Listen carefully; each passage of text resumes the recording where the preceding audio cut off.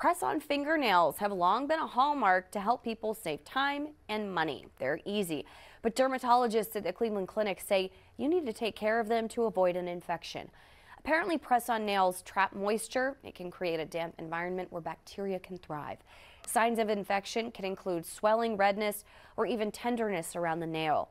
Many people can also develop an allergy to the glue used to attach the nails. Doctors say to lower your risk, wear them only for special occasions and just for short amounts of time.